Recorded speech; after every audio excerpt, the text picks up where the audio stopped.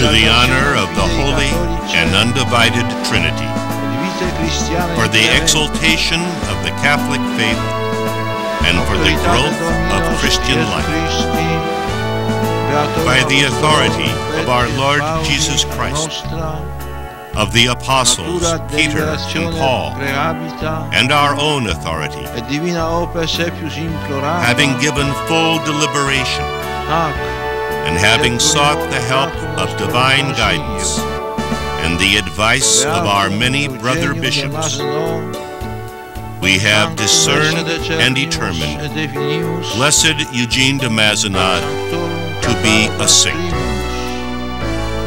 Statuentes eum in universa ecclesia inter sanctos pia devotione recoli debere in nomine Patris et Filii et Spiritus Sancti.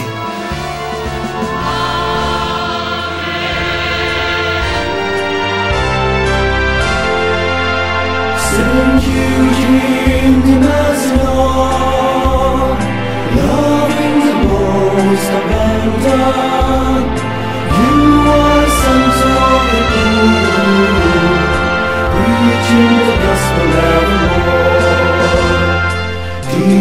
Love Christ crucified, with fervent hearts for the church. church's sake.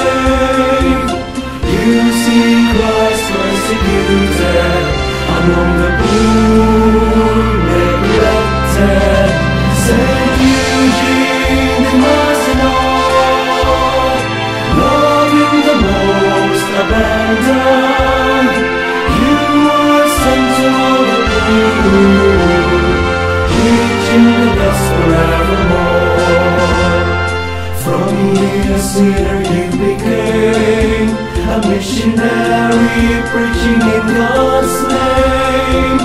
You serve the poor, rejected, the poor so precious in God's eyes.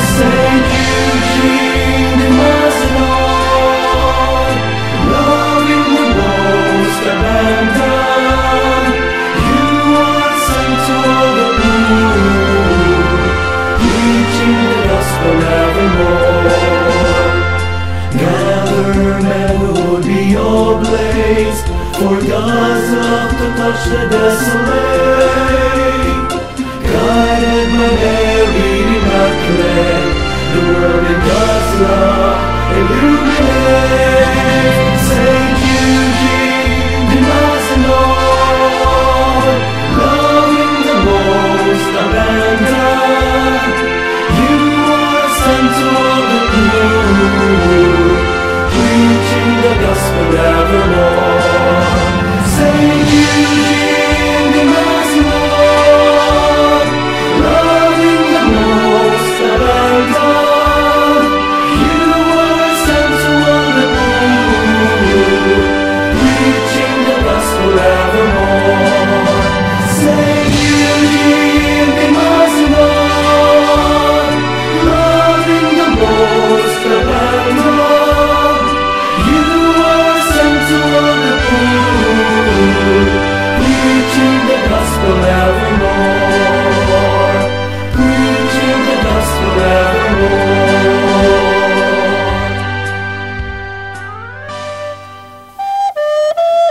The long years of the life of Eugene de Mazenod, priest, founder, and bishop, came to a close on May the 21st, 1861.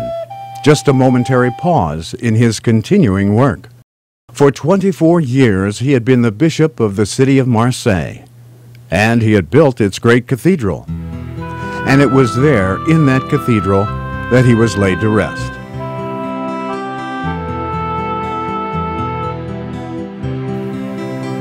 The church has now declared this man a saint, Saint Eugene de Mazenod, oblate of Mary Immaculate, because he responded in full measure to the graces God offered him during his lifetime.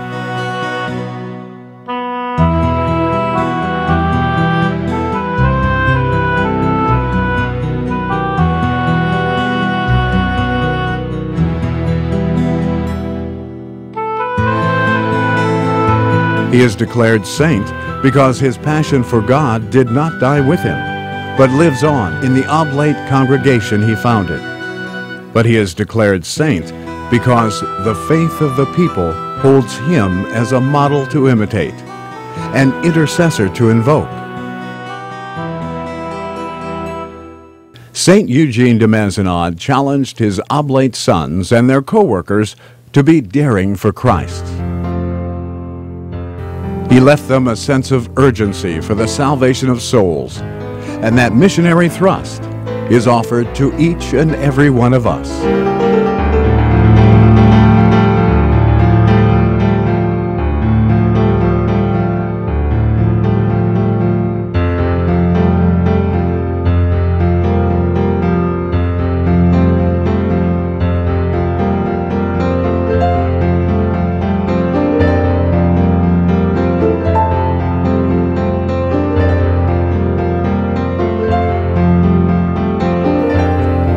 Far, far beyond Marseille, far beyond St. Peter's, his procession moves on.